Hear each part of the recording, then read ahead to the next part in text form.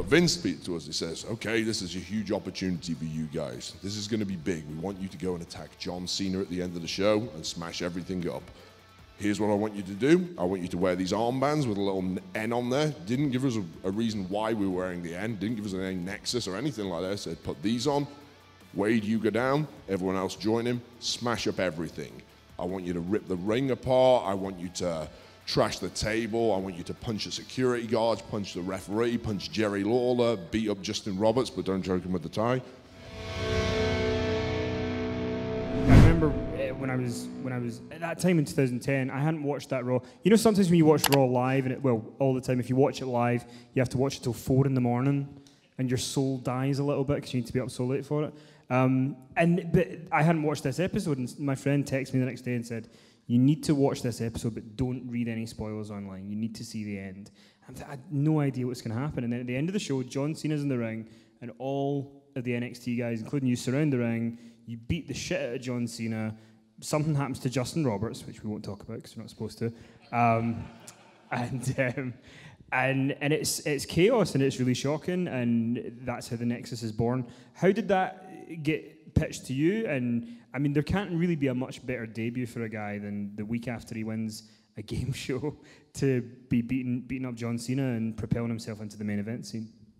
Yeah, so like I say, we had these eight rookies on NXT season one, and all we were ever told was the winner gets a WWE contract, the remaining seven, who knows? So we were expecting they either get fired, sent back home to South Africa or wherever they were from, or they get at best sent back down to the developmental system and, and okay, come up with a new character, try and try and make it back up on the road again. So when I won NXT, I was very excited because I knew I'd got the contract. Whatever happens, I get at least one week on Raw, SmackDown, and I debut as a WWE superstar. So I know, okay, I've got this.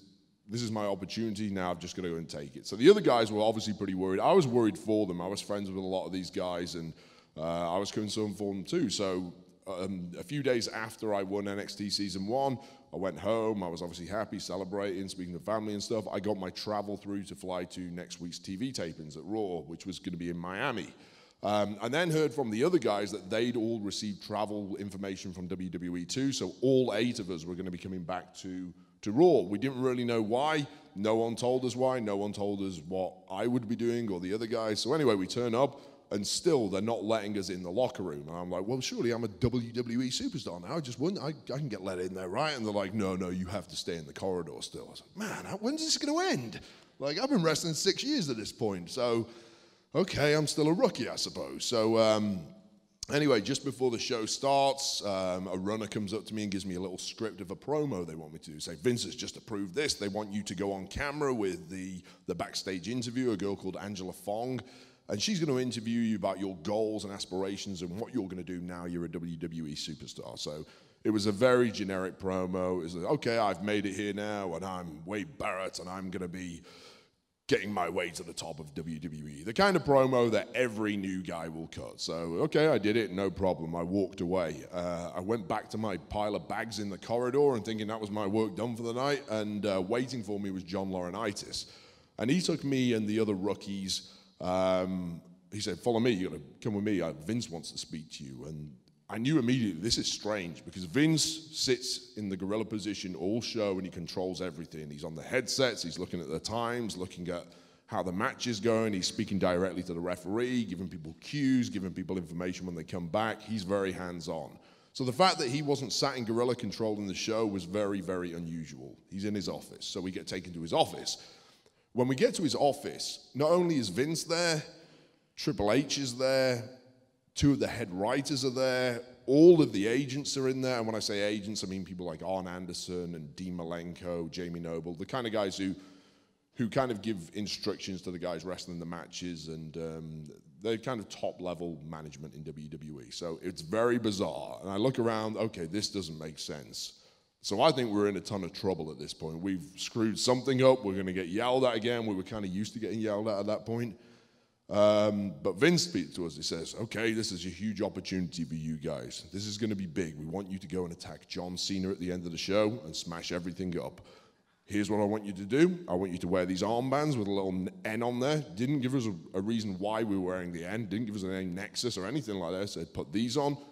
Wade, you go down, everyone else join him, smash up everything.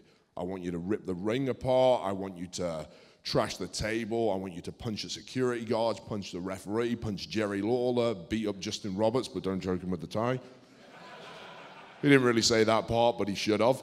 Um, but yeah, I mean, smash everything up. He said, look, we're going to replace everything next week, so do as much damage as you can. There are two rules. One, do not punch any member of the audience. I don't feel like he needed to tell us that, but he did.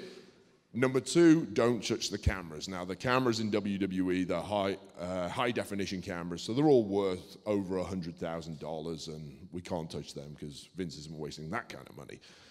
So anyway, we go down to the ring, and just before I just before I leave, Fit Finlay pulls me to one side, and he's a top agent in WWE. He says, "Okay, whatever happens down there, the one thing I want you to guarantee that you're going to do is to pull back the blue ring canvas, rip it off, cut here's a here's a Stanley knife or whatever, cut it open, pull it back, and expose the wooden boards that are underneath it, because." I think a lot of people think a wrestling ring is like a bouncy castle or a, a bed or something like that. It's not. It's basically canvas over boards of wood, and you get a, sometimes get a little bit of padding underneath there too. But I mean, it hurts when you land on there. But to me, it was a bizarre thing for Fit Finlay to tell me to do. I was like, why? Why is he telling me to do that? What a what a weird request of all this destruction we're going to go out there. Why does he want me to do that? So anyway, we go out, we we attack, we smash everything up. The crowd's going nuts. They're all in shock. And I remember, oh, Fit told me to do that, so I'll make sure I do it. I don't want to upset him. So I could have opened with a Stanley knife, pulled it back, pulled the padding away, and there's these boards. And then we walk to the back. And I look at the crowd. There was a woman in the front row who was trying to climb over. She wanted to fight me. I re- realized she was a little older and she wasn't actually capable of scaling the barricade, so I was safe.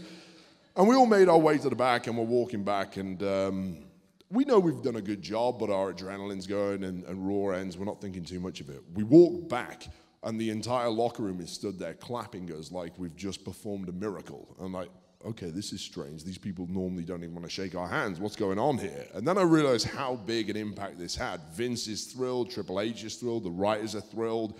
And then we saw a replay of what we'd done, and they showed the close ups of the crowd's faces, and they genuinely looked terrified, like it was something they'd never seen before. And then I saw what Fit Finlay meant when he told me to, to pull the canvas back and expose the wooden boards.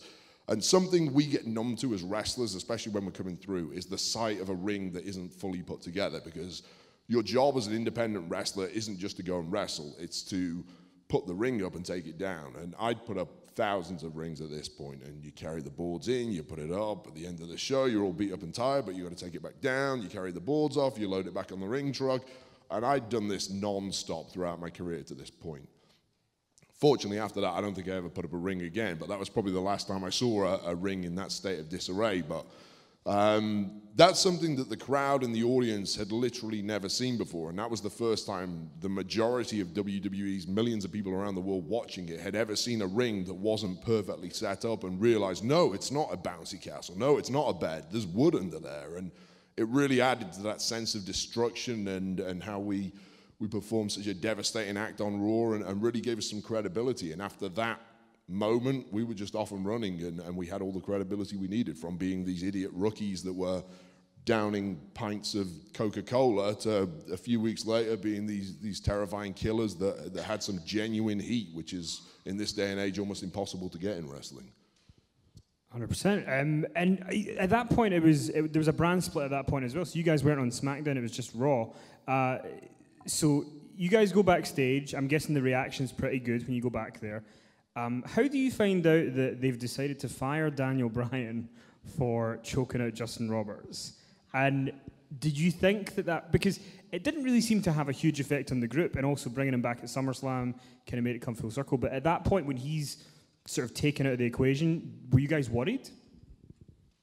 No, I mean we were. I was. We were surprised when they fired Daniel Bryan because we found out about three days later. So we did the attack on uh, on Raw, um, and I think I think they fired him probably about three days after that. And we only found out through Twitter because when we came to the back after Raw, everyone shook our hands. Nobody said a word to Daniel Bryan. Nobody said a thing.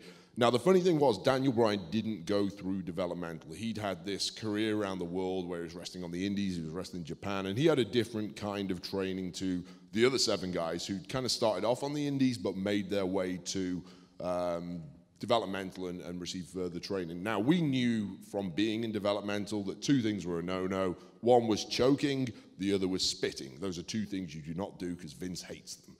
Um, obviously, those were the two things that Daniel Bryan decided to do. On the Nexus attack, he to- choked Justin Roberts with his tie and he spat on Cena at one point. So that was something that, even though he didn't go through developmental, that effectively cost him because he hadn't gone through developmental. It was a silly thing to fire him for, but I believe one of the main sponsors of WWE at the time made a complaint. They didn't like how horrific it was and how low down, disgusting it was. This isn't the kind of product we want to be associated with. We need you to to we need WWE to act and respond to this. And the only way Vince could respond to that was to fire Daniel Bryan for it. So, you know, and we felt bad for him because we bonded with him at that point. But again, we up until this point we've been treated as as pieces of dirt who weren't allowed in the locker room. So we knew we were all technically you know, on a, a, thread away from being fired or being cut. So, uh, you know, it was it wasn't as shocking as perhaps it was to a lot of the audience.